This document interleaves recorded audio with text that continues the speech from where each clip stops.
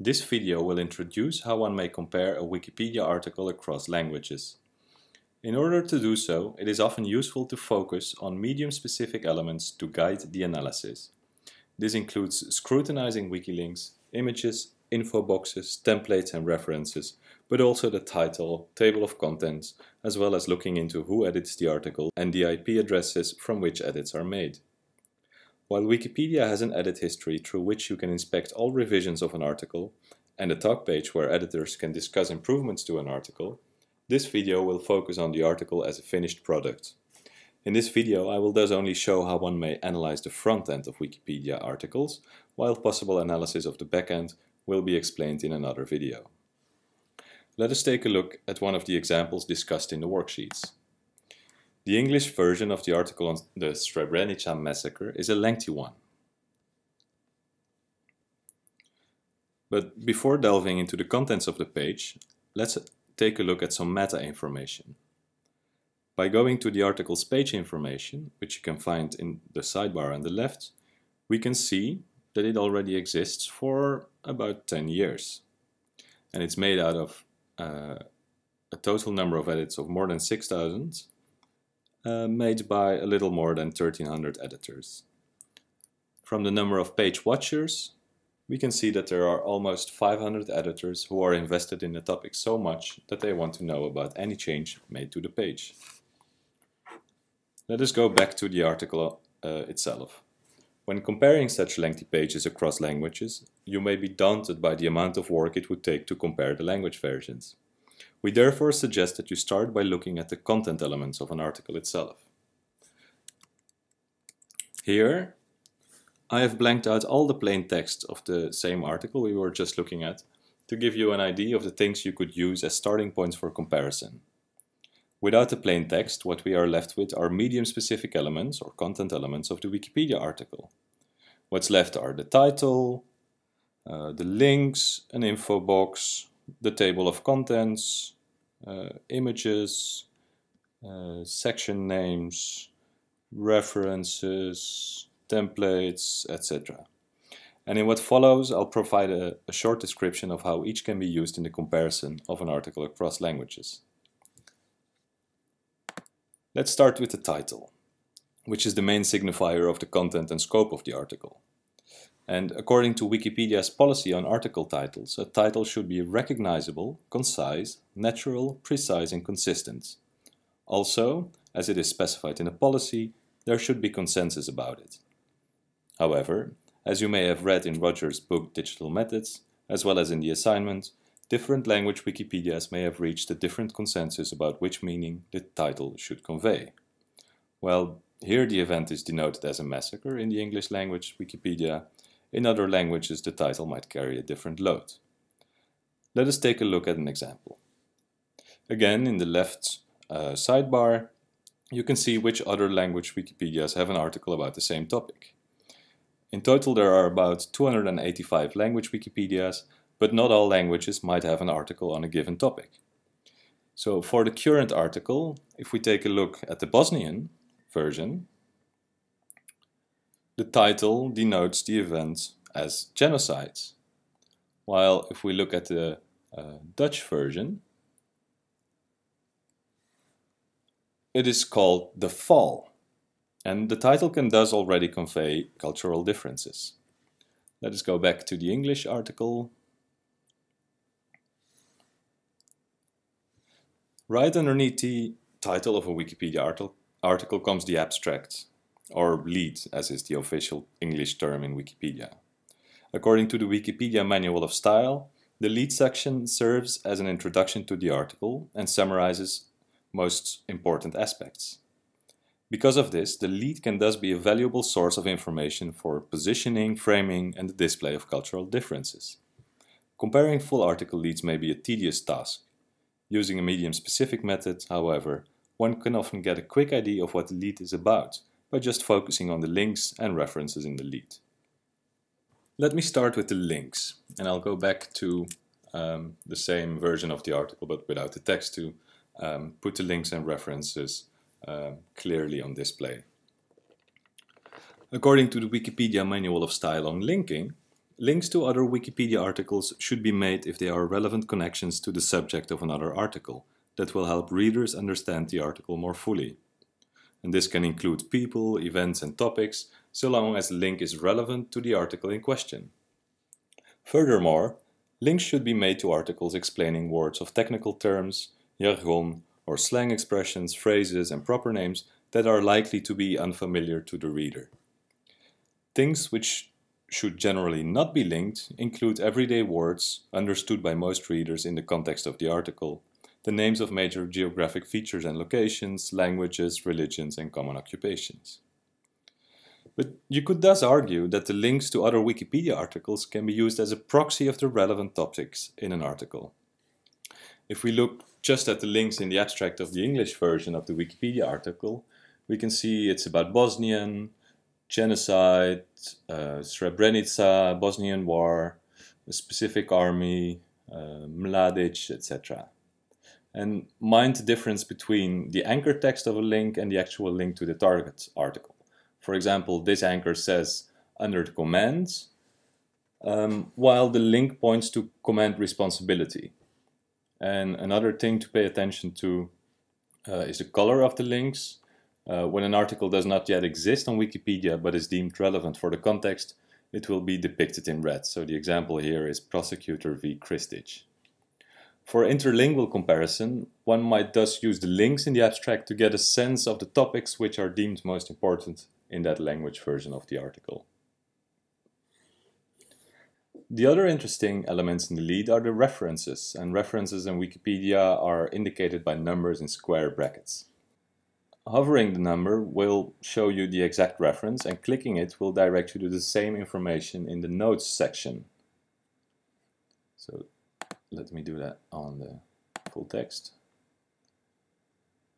And this notes section conveniently lists all the references of the article. And one of Wikipedia's core policies, the one on verifiability, mentions that readers of an article must be able to check that Wikipedia articles are not just made up.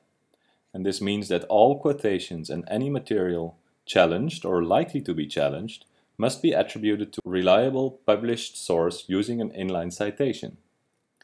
Looking at the references thus allows you to pinpoint which statements may likely be challenged. Furthermore, the type and location of sources can be interesting to look at too.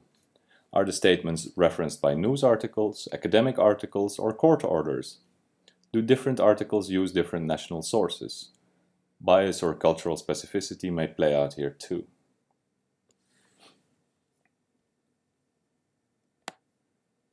Note that at the bottom of an article,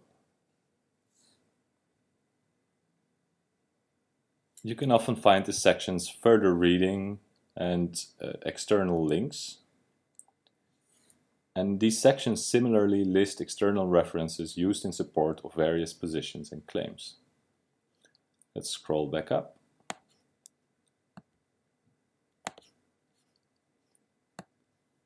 Another structural element of a Wikipedia article is its table of contents.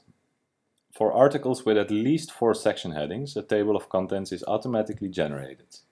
Headings in Wikipedia are used to introduce sections and subsections to clarify articles by breaking up text and to organize content. And paying attention to the section headings, represented in a table of contents, thus allows you to analyze the build-up of an article, as well as inspecting which content is deemed important in a given language version of an article. Sometimes an article also features an info box at the right side of the lead. An info box on Wikipedia is a consistently formatted table which is present in articles with a common subject. There are, for example, info boxes to describe persons, military and war, sports, etc. An info box is a specific type of template which summarizes important points in an easy-to-read format. Many info boxes also emit structured metadata, which is used by, for example, DBpedia and Google OneBox. The information in an info box should be comparable, concise, materially relevant to the subject and already cited elsewhere in an article.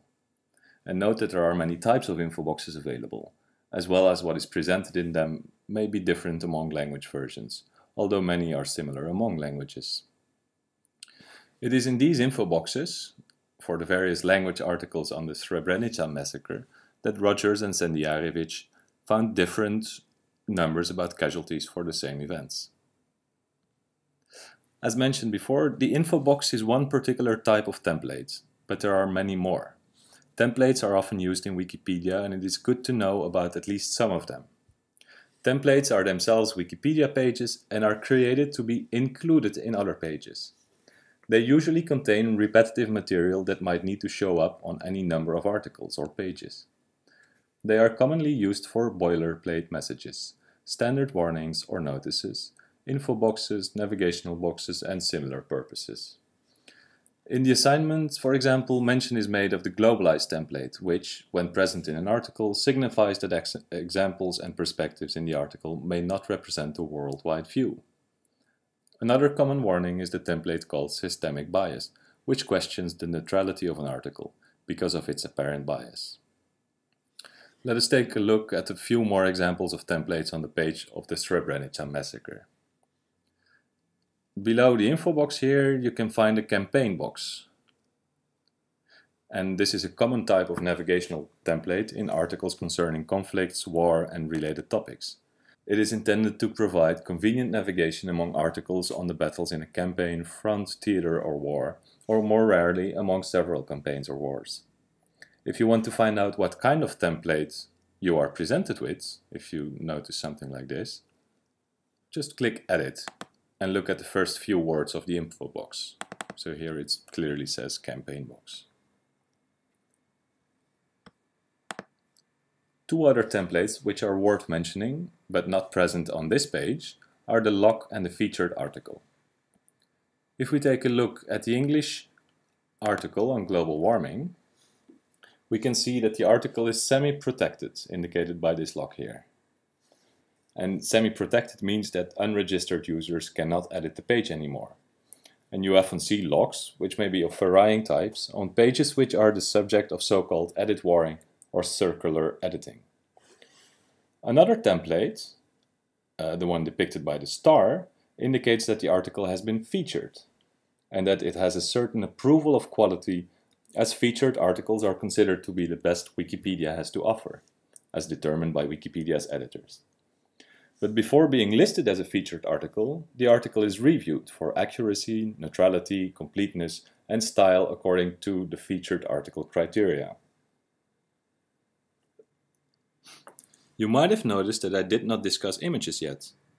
While images are also very useful for interlanguage comparison, it is the subject of another video in which a tool will be presented that allows for the comparison of images across language versions. One last thing which I should mention though is or are the categories which are again at the bottom of the article. So here you see two more templates. Um, it's, a, it's a template on wars and, and, specifically on the Bosnian war here. Um, but what I want to talk about now is the, the categories. And each article should have at least one category, but often they have many more. And categories are part of the attempt to make Wikipedia more computational and to add layers of connectivity. Category pages are convenient cross-references to related articles and other categories. So in this video I have shown you how you can use medium-specific elements in a Wikipedia article to compare language versions of the same article at a certain point in time. I have shown you which elements may require particular comparison to allow you to indicate what is shared and what is unique in the different language versions. Also note that I have often referred to Wikipedia's policies and guidelines. In these, any element is elaborately described, so whenever you are unsure about the purpose or meaning of a specific element, do take a look at those.